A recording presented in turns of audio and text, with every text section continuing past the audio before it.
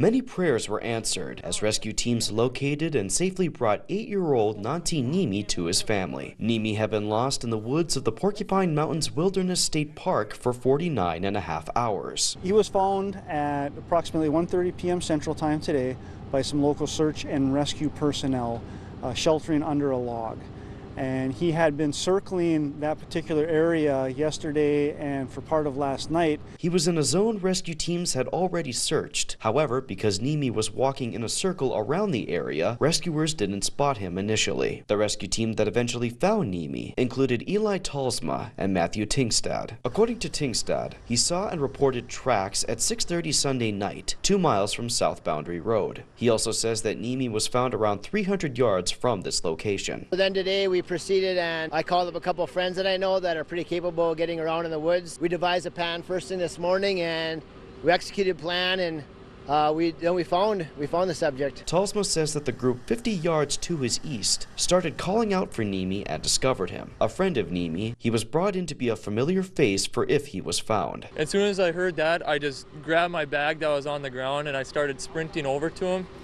And I get over this little tiny hill and all I see is this little tiny uh, white sweatshirt, and he goes, Eli?